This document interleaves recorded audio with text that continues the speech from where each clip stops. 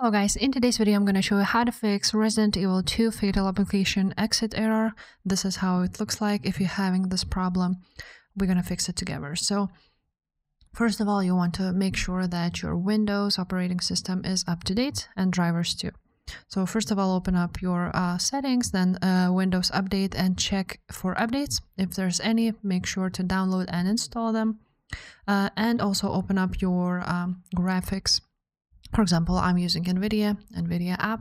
If you're having a AMD, then open up AMD and check the drivers. If there's any drivers update uh, available, you want to go ahead and download it and check the, if the problem persists. Another thing you want to try out is verify integrity of game files. Now, if you're using Resident Evil on Steam, you're gonna open Steam and uh, find Resident Evil uh, right click on it, uh, go ahead, properties, installed files, and verify integrity of game files. If you are using Xbox like I do, then you're gonna go on Resident Evil 2, uh, click three dots, manage files, and then verify and repair. Uh, after you will do that, make sure to just see if the problem persists or not. If the problem still persists, you want to open up your um, Resident Evil files. So I'm just going to go and browse here on my Xbox. Uh, you can do the same on Steam too. Uh, after that, you want to find a configuration a file, config file basically. So it for me it would be here on content, and then scroll down until you will see um, Resident Evil 2 config ini file.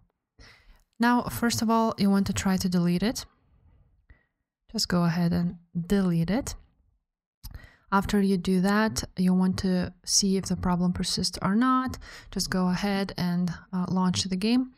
If it's still there, then you want to open up this file on, a notepad. And once you are here on the notepad, you want to go ahead and find uh, under render option PC resolution. So here it is, PC resolution. And PC resolution should be set to 12. Just like so. Uh, after that, save it, uh, and uh, once the game is able to be opened, then you can go ahead and edit it again to zero and see if the problem uh, was fixed. Now, on the same file, uh, you also want to go ahead and um, change DirectX uh, 11 to DirectX 12. For me, it's already there, but basically target platform, you want to change it to DirectX 12 and here too. Just make sure to check if it's already to X12. And the last thing you can try out is go ahead and check your graphics settings. So open up your system, then find graphics or just go ahead and write on search graphic settings. Uh, from here, you want to make sure that on advanced graphic settings, hardware accelerated GPU scheduling is on. If it's on, uh, then it's great. And now you want to find here Resident Evil. And once you will find it, basically just click right there and choose a high performance NVIDIA. Uh, if you're not seeing this, uh, then you want to add an application so for me, it would be on desktop.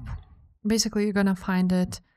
Um, I'm just gonna go ahead and add this file here.